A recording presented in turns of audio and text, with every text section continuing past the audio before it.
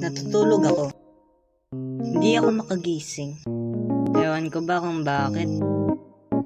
Pero napanaginipan ko si Crush. Ang ganda-ganda niya. Tumitibok talaga ang puso ko kapag nakikita ko siya. Kaso lang naalala ko may boyfriend pala siya. Ang sakit pa doon, yung boyfriend niya gangster eh, hindi ko mabugbog. Ako ay labis na nasaktan.